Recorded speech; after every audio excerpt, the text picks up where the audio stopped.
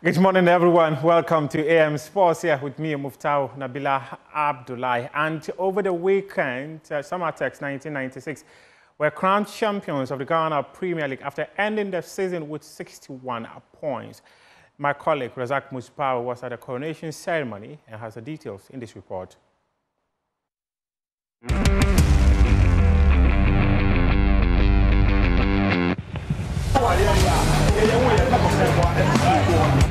Based in the western region of Ghana and known for its rich timber resources, Samreboi became the center of attention and celebration on Sunday, June 16, 2024. The local club, FC Samartex 1996, were crowned champions of the 2023-24 Ghana Premier League at the now famous Nsenkyire sports arena. Coronation match against the Accra Lions drew fans from near and far, all eager to witness this historic event. Founded in 1996 by the Samartex Timber and Plywood Company as a recreational football club, FC Samartex since made significant progress through various levels of Ghanaian football. However, after several unsuccessful attempts to qualify for the Premier League, the club finally secured promotion in 2021 thanks to strategic changes in management and technical staff, along with bold vision to become a mainstay in the league and dominate same. In their first season in the Premier League, the Timber Giant finished a respectable 10th place, ensuring their place in the top flight for the next season. In our maiden uh, uh, season in the in the Premier League, it, things were difficult. Obviously, because we needed to learn, get experience as to how to play the Premier League, and of course, if you look at our um, location it's, uh, it comes with a lot of disadvantage, especially playing away games. So we needed to adapt. When we were able to, you know, experience all these things, we now strategize. Determined to improve, the club hired experienced tactician coach Nuruddin Amadou after a rather unsuccessful attempt to lure coach Prosper Narteh Ogum to the side. Coach Amadou will go on to lead the club to a historic Premier League triumph, clinching the title with two games to spare after defeating Bibiani Gold Stars on match day 32.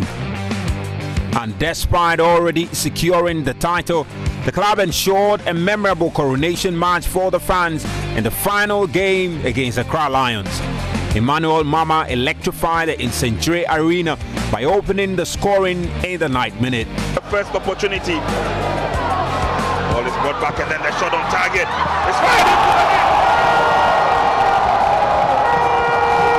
Mind you, Just when fans thought there might be no more goals, Ebenezer Papa Okran sealed the victory with a strike in the 87th minute. Opportunity for Samartex now. The win brought their season total to an impressive 61 points in 34 games, 10 points ahead of second place Accra Lions, who finished with 51 points. Following the match was an impressive coronation ceremony which saw the Premier League trophy delivered by a drone to a young girl carried in palanquin amidst a rich cultural display to the cheer of all the fans gathered.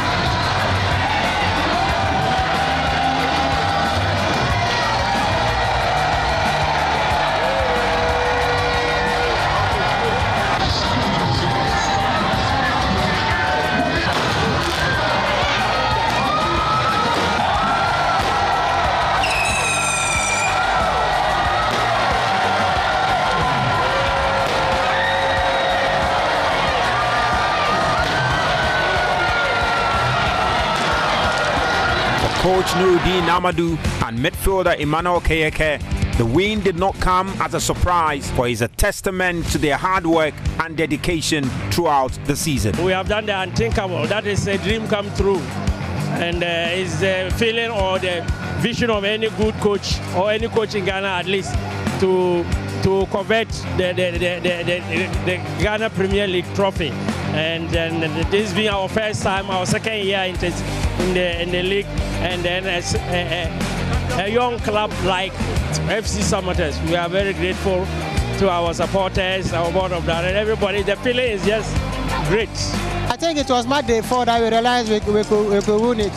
So even from our onset, we like before the season started, we reminisced about what we did the previous season, and we realized that if we do something uh, different from what we did the other season, like we could win it. But when we started after match day four, we realized no, if we put in much effort, we, we could win it. So we came together as a team again. We refocused and we like we, we redetermined ourselves that we, we could do it and uh, God being so good, we've achieved it. The fans did not hide their joy and appreciation to the players and management of the club for what they described as a great honor bestowed on them and their town. They just came into the league just last year, so that this is their second year, and they are champions. That should tell you that they've done marvelously well. So we need to congratulate the, the, the team the company itself who has been their financial backbone and the fans you can see the amazing stadium. the whole ghana yagye cup no ɔmo sere yɛ si yɛwɔ akurase yɛwɔ akurase yɛkyɛ agrafo yɛkyɛ dabarifo yɛkyɛ agotifo yɛkyɛ babiama yɛyɛ yɛkyɛ. It, it is a beautiful thing for Samatas to come from division uh, to the league and they are and winning the league.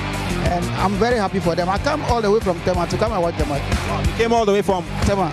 Wow, I mean, FC Samartex's remarkable achievement is indeed a reward for the exceptional leadership of club CEO and financier Dr. Richard Dua in Century, along with the impressive team management and unwavering home support the team has since received. The club walks away with 500,000 Ghana cedis cash prize, along with the honor of representing Ghana in the CAF Champions League next season, a challenge the club is already preparing for. It's not easy playing a Champions League, I must tell you. To be frank, it is not easy. So we are going to sit down and know the type of players who will help us in the Champions League. That's all. For the people of this beautiful community of Samra this is a moment of history that will continue to linger in their minds and hearts. To see their darling club clinch the Ghana Premier League title after only the second stint in the top flight is no means a small feat. For the young and old who have gathered here and still here, basking in this moment of glory, it is going to be a long night of celebration, a long night of fun, and the hope of many more success to come. There is the CAF Champions League to be played, the FA Cup to be played, and even the Ghana Premier League to, to be played come next season. The players, the technical team, and the management have promised to beef up the squad and get the team in the best of shape to offer competitive football come next season. We wait to see how that will fare for them. But until that comes, it is a moment of joy, of fun, and pure entertainment here in Samreboi. And just behind me, you are seeing a glimpse of that.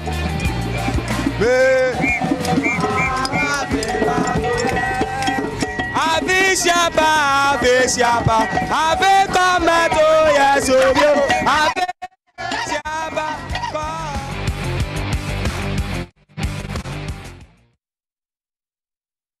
Find for the people of Boy as Samartex wins the Ghana Premier League. Success for them means that uh, they will be representing Ghana in Africa in the next edition of the CAF Champions League. And uh, this summer, Ghana will be competing in the Olympic Games. The 4 by 100 meters relay team, they have qualified and also high jump Rosie Yeboah has also been able to qualify after meeting the mark of 1.97 meters. Another athlete who has been able to qualify is Abdul Rashid. Ghana will be hoping that the country will win at least a medal in Paris later this year. President of Ghana Athletics, Bawa Fuseini, says that for a country to be able to win a medal or even get some respectable finishes in the competitions, he believes that the government of Ghana should invest in the athletes to, to have the best of preparations. How do we get this athlete prepared for the Olympics? That is the question that the athletes are also demanding. So by Monday, we already presented our documents to the ministry. We call it the gold chase, right from the preparation up to the Olympic Games. But we have to uh, amend it again and add campaign and competitions. So we want to bring the athletes, the 400 to Ghana to do the ECOWAS championships. They have to also go to the African championship. We have to get at least three or four competitions for them, high profile competition for them before the, the Olympics.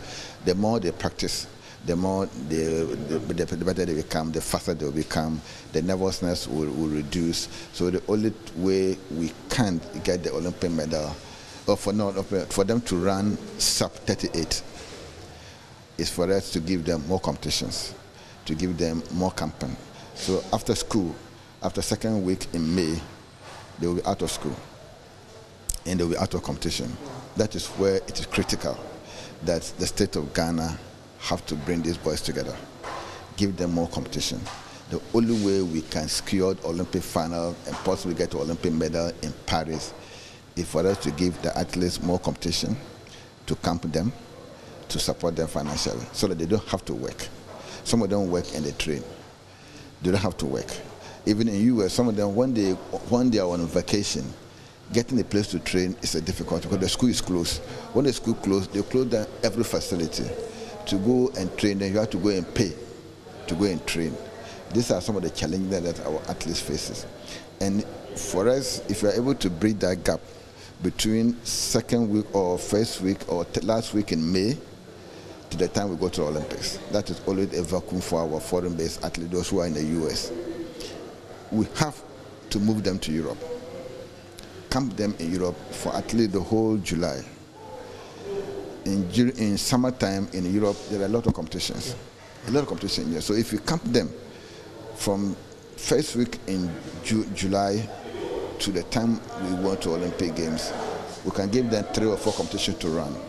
That will make a lot of difference. But if you leave them as we normally do, they don't have enough competition in the US, they don't have enough places to train, they also have to go and work and survive. So they don't have 100% training opportunities. That's why when they come to international competition, they don't perform as they were performing before the opportunity. Their performance always dip. And it's not their problem. It is the problem of the state. And that financial model too is more than what the federation can support. It's just like asking football, a GF, excuse me to the GF as an example, that go and prepare your national team for World Cup.